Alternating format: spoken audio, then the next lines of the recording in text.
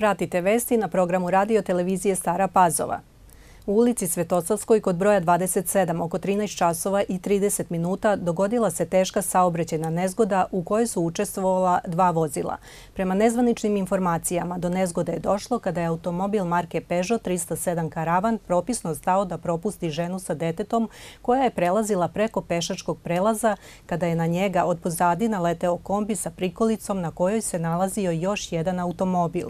Od ciline udarca Peugeot je udario ženu i dete koji su se nalazili na pešačkom prelazu i odbacio ih u kanal pored puta. Također u kanalu je završio i automobil dok se kombi vozilo sa prikolicom zaustavilo tek nakon desetak metara.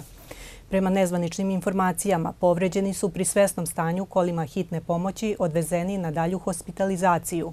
Među povređenima su i dete od 6 godina i beba od 18 meseci kojima su konstatovane lake telesne povrede. Visoka temperatura, trenutak nepažnje ili umor razlozi su sve češćih saobraćajnih nezgoda na našim putevima, a kako saznajemo, ovo je već treća saobraćajna nezgoda danas.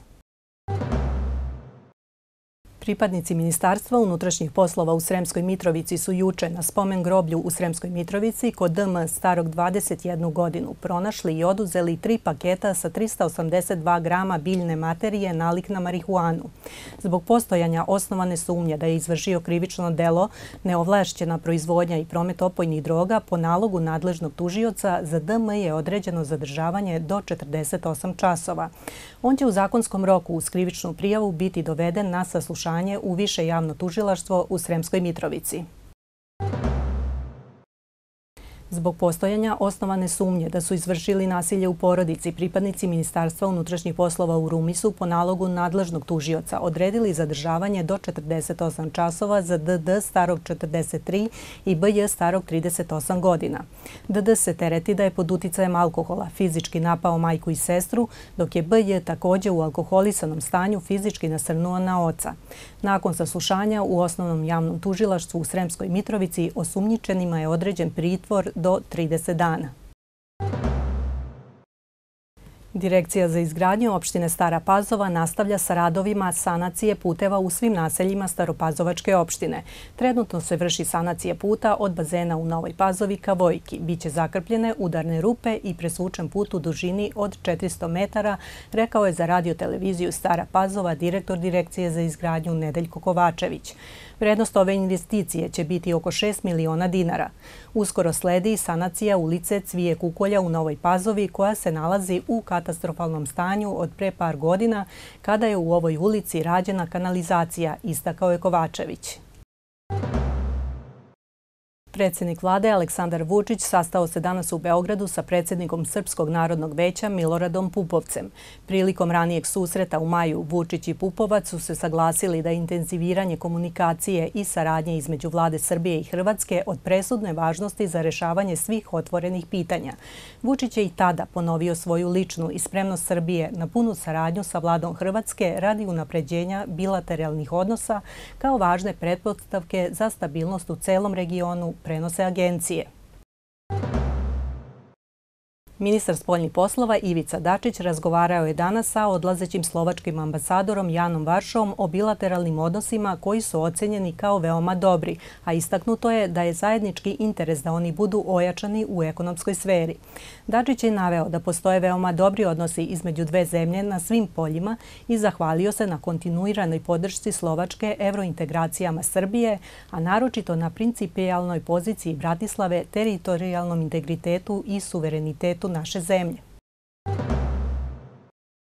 Na Dan mladih, Staropazovačka kancelarija za mlade na letnjoj sceni ispred pozorišne sale organizuje prvi festival savremene poezije i performansa pod nazivom Pazova poziva, a u saradnji sa neformalnom grupom Pazova poziva i udruženjem građana Knjižuljak uz podršku Centra za kulturu.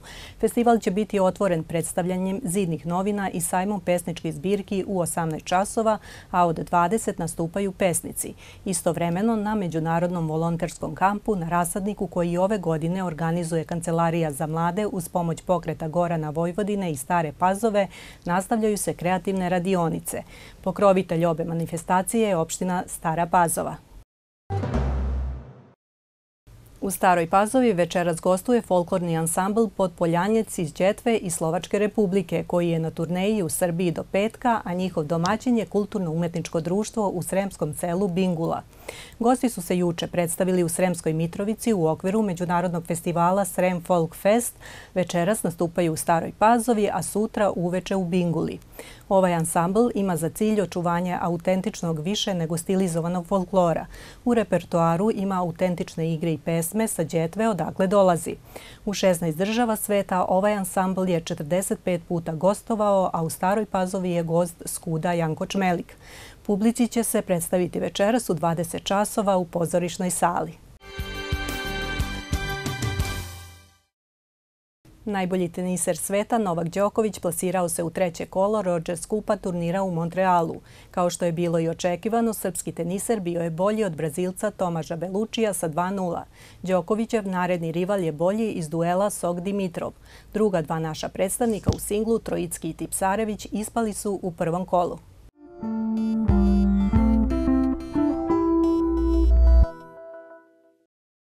Vreme će sutra biti sunčano i tropski toplo, duvaće slab severni vetar, minimalna temperatura 20, a najviša dnevna 36 stepeni Celzijusa. Bile su ovo vesti na programu radiotelevizije Stara Pazova. Ostanite uz naš program.